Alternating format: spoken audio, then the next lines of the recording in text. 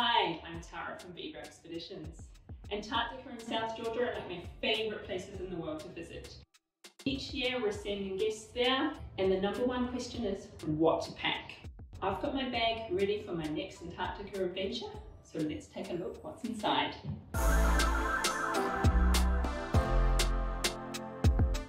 First up, base layers. So merino wool is my favorite, but you can use any type of wool or other thermals.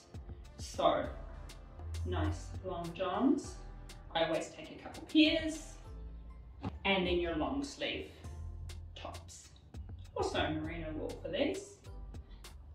Two usually does me. Next layer, remember layering is the most important.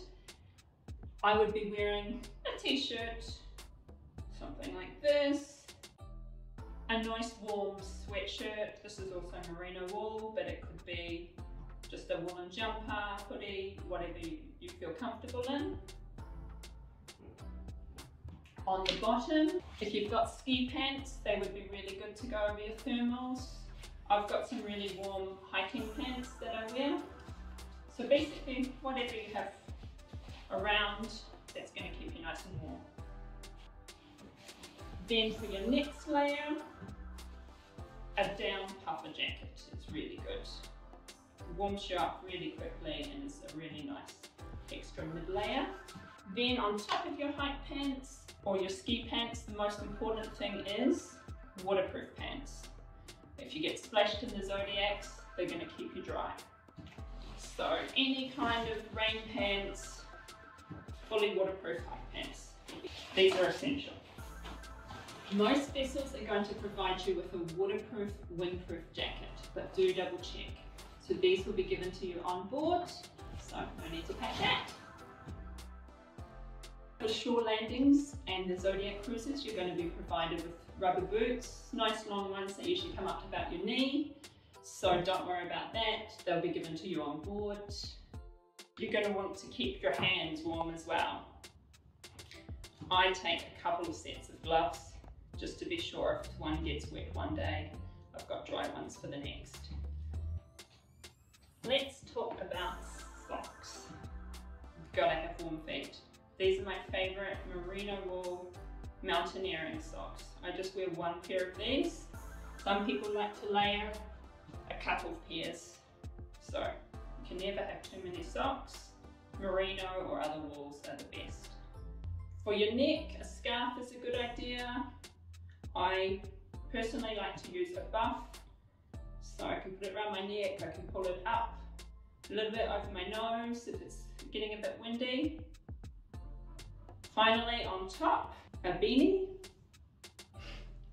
Or I also take a second option, you know, for wearing out on deck. I have a nice wool hat as well. All right, so let's talk about what to wear around the ship.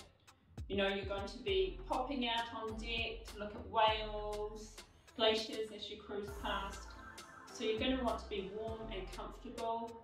Inside is heated, but it's pretty cold as soon as you step outside.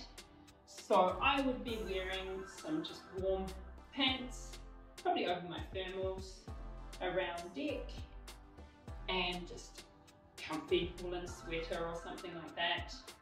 Then I can pop my jacket over the top and be warm out on deck and also comfy. Footwear on deck is also really important. It can be a little slippery, icy at times. So wear some comfy shoes. I take my hiking shoes. It covers multiple purposes. I can do some hiking in, in Ushuaia before I go. So something like that, or just sneakers, whatever going to lunch or dinner on board, I'd be just wearing something like this, casual, putting on a warm sweater over the top. Don't forget your swimsuit. Going to want to do the polar plunge, the most exciting part of my trip. And if that's not for you, well, there'll be a jacuzzi on board.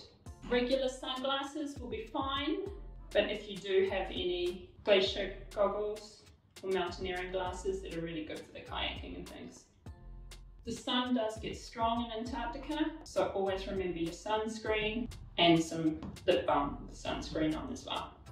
Essential.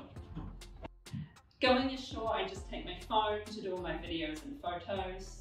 You're not going to want to lose that into the water. So waterproof case with a lanyard, keep it nice and secure, keep your photos safe. A few other tips to take along with your toiletries, seasickness medication, make sure you've got all your chargers and you've checked you've got the adapters you need. Take a power bank and a portable hard drive. You're going to take lots of photos, so you don't want to be short. Always take a nice eye mask to sleep in. You know, middle of summer in Antarctica, the sun doesn't set, so keeps it nice and dark. Another great item to take is a drink bottle, and I would also take some um, rehydration salts, just in case you do get sick. It'll make you feel better a lot faster. Of course, you're going to need a bag to put it all in. I like to take um, a rolling duffel style bag. I find that most practical. Okay, so I think that's everything I would take to Antarctica. See you later.